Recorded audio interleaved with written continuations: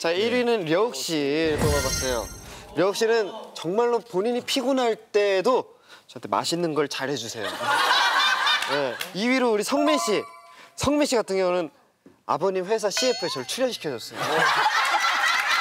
아, 굉장히 의리 순위가 굉장히 단순하네요. 어 그럼요. 아, 또 의리에 포함이 될 수 있는 건가요? 예. 어, 그럴 수 있죠.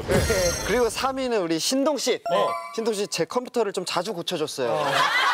네, 제가 컴퓨터를 잘 못하거든요. 컴맹이거든요. 근데 컴퓨터를 자주 고쳐줬고 우리 4위는 시원 씨. 아, 시원 씨. 평생 안고 가야 할 제 친구입니다.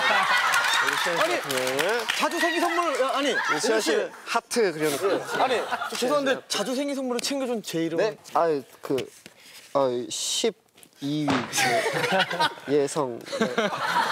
네, 네 적도록 하겠습니다. 죄송한데 한 대 때려도 돼요. 그리고 방송인데 뭐 어때? 네. 예, 그래요. 5위의 은혁. 저 제 자신을 적었습니다. 예. 많이 부족한 것 같고요. 음, 앞으로 더 잘해야겠다는 의미에서 예. 5위에 저를 랭크했습니다. 은희 씨 알면 됐어요. 아, 저는